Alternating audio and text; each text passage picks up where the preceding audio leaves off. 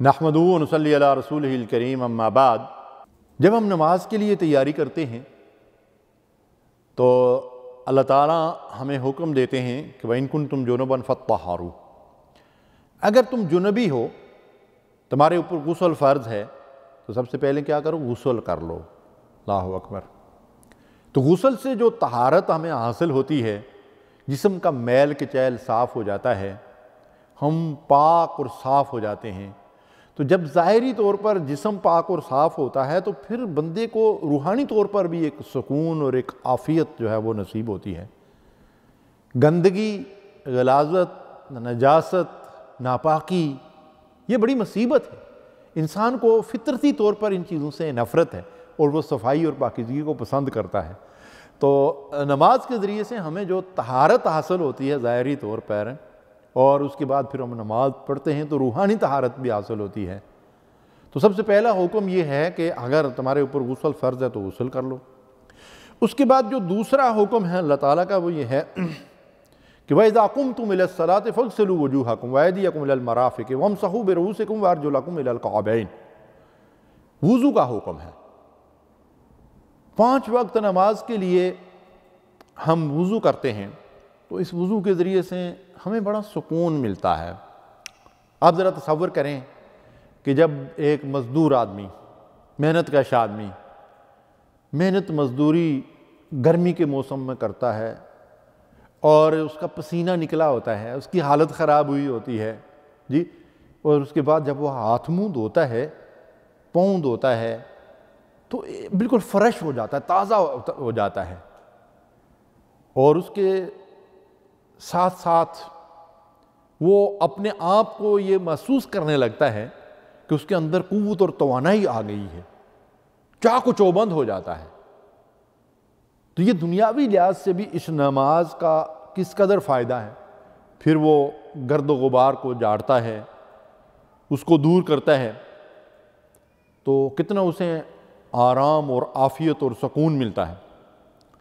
जब हम नमाज़ के लिए तैयारी करते हैं तो अल्लाह ताला हमें लिबास का जायज़ा लेने का भी हुक्म देते हैं। या बनी आदम खसूसी न तकबिंदकुल्ल मस्जिद। ए आदम के बेटो, नमाजों के औकात में, मसाजिद में जेब जीनत के साथ आओ। गोया कि यह अल्लाह के हजूर हाज़री है तो उस हाज़री के लिए ख़ास एहतमाम का हुक्म दिया गया है। जेब जीनत वाला लिबास, यानी अच्छा लिबास जेब तान करके अल्लाह से मुलाकात करना चाहिए। अब बाद लोग जो हैं, मज़दूर पेशा, मकैनिक का काम कर रहे हैं, डेंटिंग पेंटिंग का काम कर रहे हैं और सख्त मतलब यह है कि गंदे कपड़े हैं, हालत ख़राब है, उसी हालत में नमाज़ के लिए चले जाते हैं। हालाँकि नमाज़ अदा करने के लिए अगर वो लिबास तब्दील करना चाहें तो एक दो मिनट से ज़्यादा वक्त नहीं लगता। भाई, अल्लाह के हजूर हाज़िरी देनी है, अल्लाह से मुलाकात करनी है। अगर उसका एहसास दिलों के अंदर पैदा हो जाए तो दिन में अगर दो तीन मरतबा कपड़े तब्दील करना पड़ जाए तो कोई बड़ा मसला नहीं है। तो जो और फिर यह है कि ये कोई मुल्ला मौलवी का मसला तो है नहीं, ये कोई मसलक की बात तो नहीं। अल्लाह रब्बुल आलमीन हाकिमीन, जिसके हजूर हाज़री के लिए हम जा रहे हैं, वो खुद हमें हुक्म दे रहा है कि मेरे साथ मुलाकात के लिए आ रहे हो तो ज़रा आपने लिबास का जायज़ा ले लो। और बिल्कुल इब्तदाई दौर में जो वही रसूलुल्लाह सल्लल्लाहु अलैहि पर नाजुल हुई थी उसमें अल्लाह ताला ने सूरह मुदसर में क्या इरशाद फरमाया? वह सियाबा का बताहिर अपने कपड़ों को पाक, साफ़, सुथरा रखें। मैल के चैल दूर कर दें। जिस तरह जिसम से मैल के चैल दूर की गसल के ज़रिए, वज़ू के ज़रिए, इस तरह साफ़, सुथरा लिबास पहन कर पाक लिबास पहन कर अल्लाह से मुलाकात के लिए आए। बाज़ लोग इसका अहतमाम नहीं करते। स्लीपिंग सूट पहना हुआ है, रात को सोए हुए हैं, फजर की नमाज़ के लिए गए, उसी सूट में चले गए। ऊपर एक मुख्तसर सी बुनियान है और नीचे ट्रोज़र पहना हुआ है। उसी लिबास में मुलाकात, जो नमाज़ पढ़ने के लिए चले गए। तो हमें इस बात सोचना चाहिए। एक मौलाना साहब मस्जिद से बाहर निकले, नमाज़ ख़त्म हुई तो उन्होंने एक नौजवान को देखा कि गैर मुनासब लिबास के साथ वो मस्जिद में नमाज़ पढ़ने के लिए आया। तो उसका इंतज़ार करने लगे, जब वो बाहर आया तो उसे दावत दी कि आए, मेरे घर चलते हैं चाय पानी पी लेते हैं।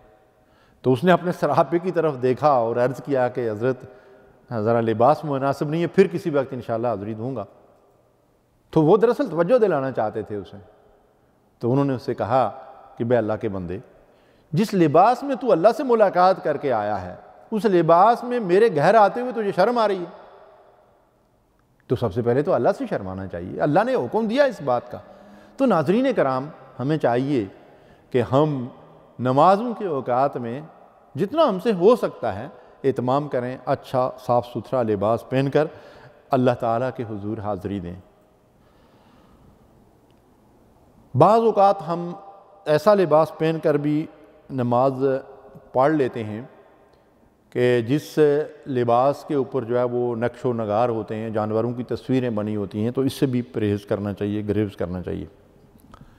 फिर नमाज़ जैसा कि आप जानते हैं कि ज़ाहरी तहारत का भी हुक्म दिया गया है, और जब हम नमाज़ पढ़ते हैं तो बातनी तहारत भी हमें हासिल होती है। अल्लाह फरमाता है वल्लाहिब्बुलमुत्ताहिरीन अल्लाह खूब पाक, साफ़ रहने वालों से मोहब्बत करता है, वो अल्लाह के महबूब बंदे हैं। तहूर शत्रल ईमान। सफ़ाई और पाकिजगी ईमान का हिस्सा है। तो अहल ईमान हमेशा सफ़ाई और पाकिजगी का अहतमाम करते हैं। और हमें चाहिए कि सिर्फ़ नमाज़ों के अवकात में ही नहीं, बल्कि उससे हट कर भी हम अपने घर को भी, अपनी गाड़ी को भी, अपने इस्तेमाल की चीज़ों को भी, अपने बिस्तर को भी, अपने लिबास को भी, हर चीज़ को साफ़ सुथरा रखें। कहते हैं, सफ़ाई में खुदाई है। और सफ़ाई हमारे ईमान का हिस्सा है। अल्लाह रब्लमीन से दुआ है कि वह हमें सही अहतमाम के साथ खुशू और खुदू से नमाज़ अदा करने की तोफ़ी दे।